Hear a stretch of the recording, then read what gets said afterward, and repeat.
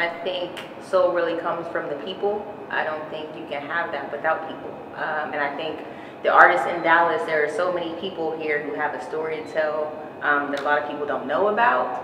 Uh, and I, am interested, just as anybody else is, to hear these stories. Um, also with sharing my own.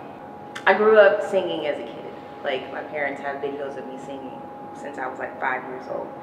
Uh, but I've never felt until later in life 100% comfortable being a singer, right? Because there's so many things you have to worry about. I've got to think about my voice, my tone, the lyrics, everything, pitch, all this stuff, right? And rap, the first time I did that, I was 17 years old, and it just came so easy to me.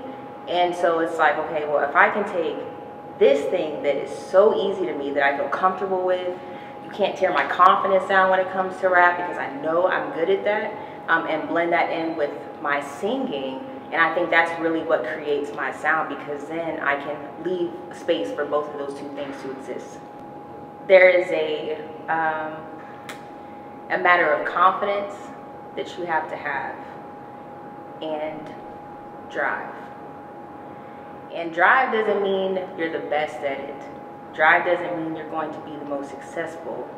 Drive means that you have something you want to do and you want to get that out to people.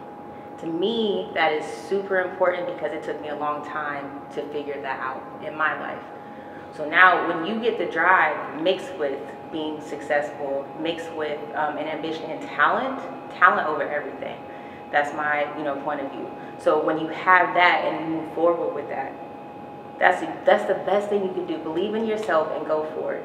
Don't wait for anybody to tell you that you're great, because not everybody thinks you're great, right? You know what I'm saying? Just go for what makes you work, and then work hard. I think it's just a matter of, like I said, being confident in what you do you know, and um, yeah, I can't speak for everybody. There are a lot of kids that are doing this that are in their 20s, you know, and, and came up on game long before I did. You know, I'm in my 30s right now, so it was it took a lot of time for me to get to know self to get to a point where I was even comfortable enough with me so that I could tell myself that I could do it.